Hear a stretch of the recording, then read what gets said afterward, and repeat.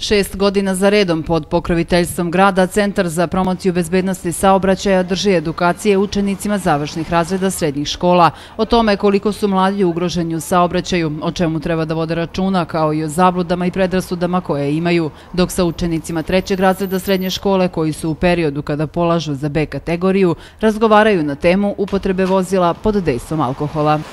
Prosto su nam je zanimljiva ta ciljna grupa zato što su mladi u tom nekom uzrastu najugroženiji. Generalno u tom periodu, ako ičega treba da se plaše, to su, to su saobraćaj i saobraćaj nezgoda, jer im od toga preti najveća opasnost. Oni se spremaju da uskoro polažu ili su već neki na, na obuci ili, ili su neposredno pre ovoga položili za vožnju i upravo vozači u toj prvoj godini vozačkog iskustva izazivaju tri puta više nezgoda od ostalih i, i preko 40% žrteva svih saobraćajih nezgoda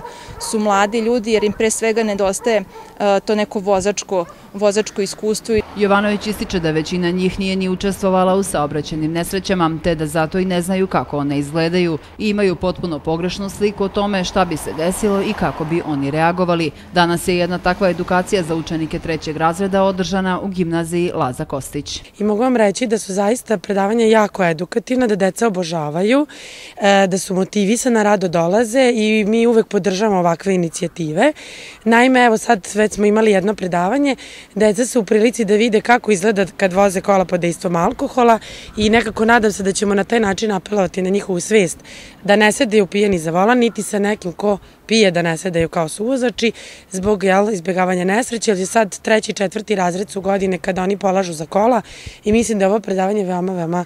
uh, edukativno za njih. Todorović dodaje da bi ovakva predavanja i radionice trebalo organizovati češće i u svim školama. Jer pokazali su nam da što se tiče stepena smrtnosti da je najveći između 15 i 25 godina, što samim tim pokazuje kada je opasan e, period za njih i kada treba stvari ih edukovati na tu temu, jer oni misle šta ako malo popiju, neće ništa smetati ako sednu za volan. Samouvereni su, tako da mislim da je pogotovo, ja vidim dečaci, baš su se onako zainteresovali, a za četvrti razred posle postoji kviz, tako da će onda moći da, eto i urade neki mali kviz da im bude zanimljivo, a i njima sve što nije čista frontalna nastava i učionica, njima je to sve zanimljivo. Jovanović dodaje da je bezbednost u saobraćaju ogroman problem i zahteva zajednički rad roditelja, dece, obrazovnih institucija, profesionalnih institucija koje se bave saobraćajem, a ključ rešavanja problema je, smatra Jovanović, u prevenciji, jer samo tako se on može dugoročno rešiti, a jedan od načina jeste edukacija. Kaznana politika kao rešenje je dobro i neophodno, ali nedovoljno efikasno, smatra ona.